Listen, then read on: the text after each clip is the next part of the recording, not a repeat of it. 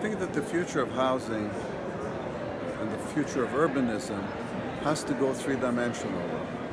It is not possible anymore to plan a city on paper two-dimensionally and hope that it makes any sense. We need to recognize that the city is made up of many layers and vertical and horizontal circulation can occur on many layers.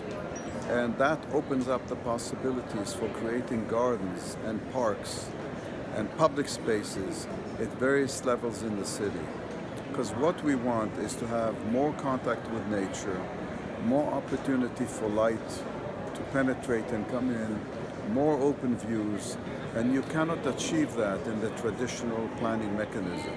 You need to reform it and conceive of it as something which is more planning space than planning land. That's, I think, is the future of urbanism.